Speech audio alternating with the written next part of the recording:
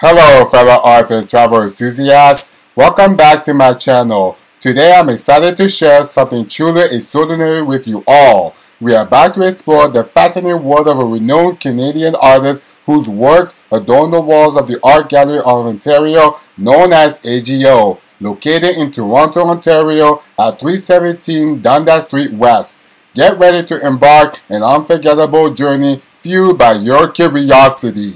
Today I'm going to talk about Cornelius Krieghoff. Born in Amsterdam, Kingdom of Holland, Krieghoff's artistic journey began in his childhood. His family's travels and experiences shaped in his artistic vision, leading him to enroll at the Academy of Fine Arts in Germany. After serving in the United States Army and exploring Europe, Krieghoff settled in Montreal where he established himself as a prominent artist. Krieghoff's paintings depict a vivid tapestry of Canadian life, from bustling cityscapes to serene landscapes. His attention to detail and portrayal of everyday scenes captured the essence of Canadian culture in the 19th century. Through his art, Krieghoff immortalized the customs and traditions of various native peoples and French-Canadian settlers, leaving a lasting impact on Canadian art. As we explore Krieghoff's Canadian art, let's take a moment to appreciate the beauty and diversity of his work. Each painting tells a story, inviting us to reflect on our shared humanity and cultural heritage.